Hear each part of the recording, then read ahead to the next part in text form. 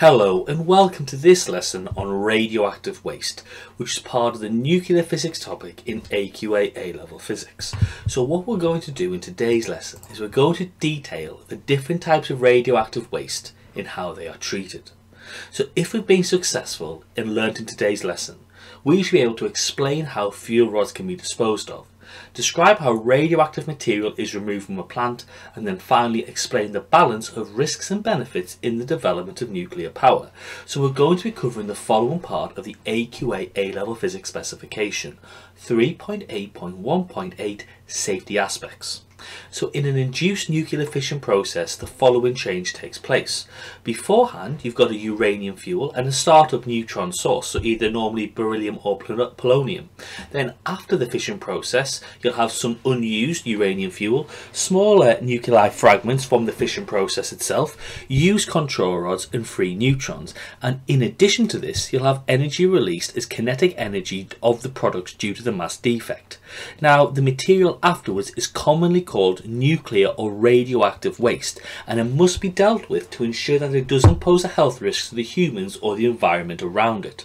So if we think of the following, before the fission process, you've got uranium-235 and uranium-238 isotopes.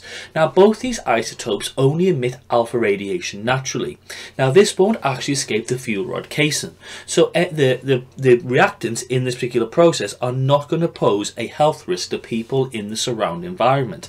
But after fission, the fragments of the, of the nuclei produced in the fission process will emit beta or gamma radiation because you tend to find that the products of nuclear fission tend to be very neutron rich in their composition so are very radioactive and in addition in the fission process you'll have times when uranium-238 encounters a neutron and turns into plutonium-239 which is actually a very active alpha emitter which if not handled carefully can actually cause lung cancer. So the products of fission leave us a problem of what to do, not the actual reactants of the fission process. Now, the products of fission can be used practically in a medical diagnosis. However, fission is carried out at high temperatures and the fragments produce beta and gamma, so as such precautions need to be taken. Now, all radioactive waste presents a danger to humans. This is because radiation is a stochastic effect. This means there's no maximum safe dose. Any dose of radiation radiation, no matter how small, can present a danger to human health.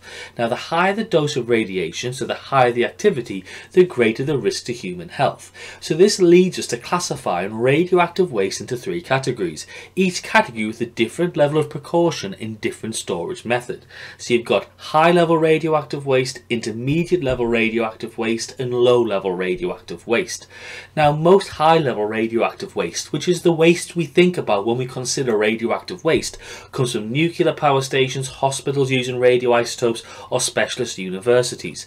Now it's important to note that in the UK the government policy states that the disposal, disposal of any form of radioactive waste must be in accordance with legal regulations and by approved disposal containers until its activity is insignificant, the same as the background. So all companies, all universities, all schools, all hospitals, all nuclear power stations must comply with this. But how do we dispose of each type of radioactive waste.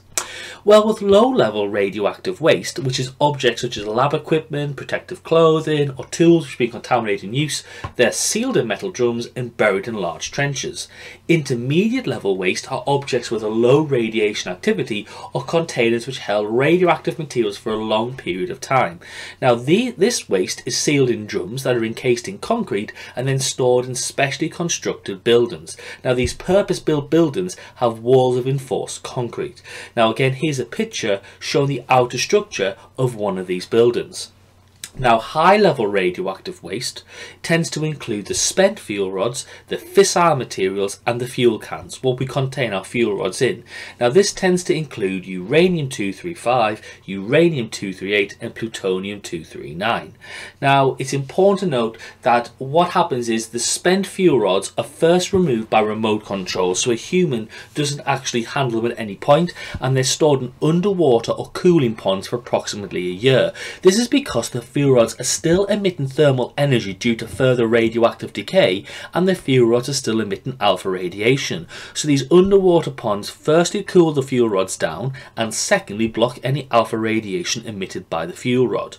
Now the fuel rods are then transferred to a large steel cask, and the unused uranium and the plutonium are removed for further use. Now in the UK, this occurs in the THORP reprocessing plant found at the Sellafield power station.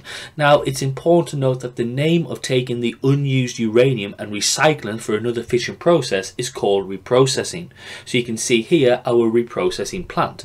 After reprocessing, the unwanted materials are then stored in sealed containers in deep trenches and this must be stored for centuries because they contain radioisotopes with long half-lives so they can't contaminate the food chain or the water supply. So in the UK, containers of high-level radioactive waste are securely monitored at the Sellafield nuclear complex. So these containers of waste can only be accessed by workers at Sellafield. Now other countries store radioactive waste in the same way or in underground caverns which are geologically stable. Now some countries, such as the United States, mix the waste with molten glass to store them as glass blocks. Now in the UK, we're now starting to turn our radioactive waste into molten glass. Now the process of turning a substance into glass is called vitrification. Now it's safer to keep our radioactive waste vitrified or as molten glass since the radioactive waste cannot leak out of the container or become part of the water cycle in the environment. So here's a flow diagram showing how high level waste is treated in the UK. In stage 1 the material is removed remotely. Stage 2 the material is cooled underwater for many years. Stage 3. Unused uranium and plutonium are removed at a reprocessing plant. Stage 4. The remaining material is placed in a sealed container and then buried deep underground in a secure location. The material can be turned into glass to ensure there's no leakage in the future and the material can be stored in the natural environment as long as the landscape is geologically stable. So we can summarise our radioactive waste and safety protocols with the following. Low level waste is lab equipment and protective clothing. Moderate level or intermediate level waste is containers of radioactive materials and radioactive materials with a low activity, whilst high level waste is spent fuel rods and fuel rod containers. So for low level waste, we seal them in metal drums and bury them in large trenches. For moderate level waste, we seal them in drums encased in concrete and stored in special buildings with walls of enforced concrete whilst for high level air waste we remove them by remote control, store them underwater for two or three years, any unused uranium and plutonium is removed in a reprocessing plant and the rest is stored in sealed containers in deep trenches. So if we consider our three areas of nuclear safety, well, firstly, we have reactor shielding. So reactor shielding is that when a nuclear reactor is surrounded by thick concrete, it'll act as a shield. This prevents any radiation from escaping and interacting with people around it. You've also got the emergency shutdown procedure in a nuclear reactor. So in an emergency, the nuclear reactor can be shut down by releasing the controls fully into the reactor. This will slow down the fission process as quickly as possible. And finally, you've got handling waste products. So you've got to handle handle the waste products with great care because it's very hot and very radioactive. So the material is removed from the reactor remotely, placed into cooling ponds to cool, and then is stored in sealed containers until the activity has fallen sufficiently.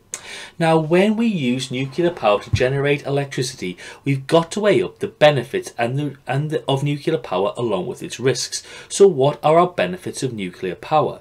Well, firstly, we can say that there's a lot of nuclear fuel allowing us to use nuclear power for centuries. Most of this fuel can be found in political friendly and stable countries unlike gas, coal or oil.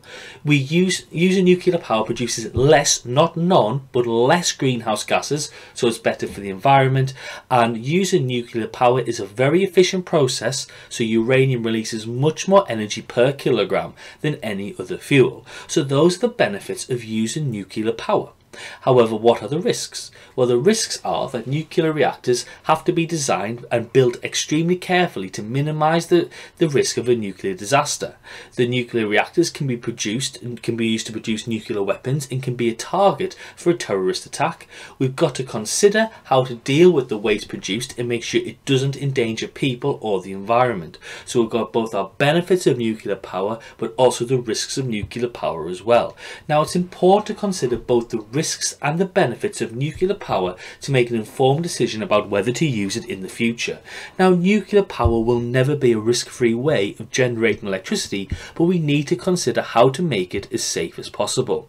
So to summarise what we've looked at in today's lesson, we should be able to understand the fuel used, the remote handling of fuel, shielding and the emergency shutdown procedure, understand the production, remote handling and the storage of radioactive waste materials and have an appreciation of the balance between the risks and the benefits in the development of nuclear power. So if we've been successful and learnt in this revision in this lesson, we'll be able to explain how fuel rods can be disposed of, describe how radioactive material is removed from a reactor, and explain the balance and of, of risks and benefits in the development of nuclear power. So I hope you've enjoyed this lesson on radioactive waste, which is part of the nuclear physics topic in AQA A-level physics. Thank you very much for watching and have a lovely day.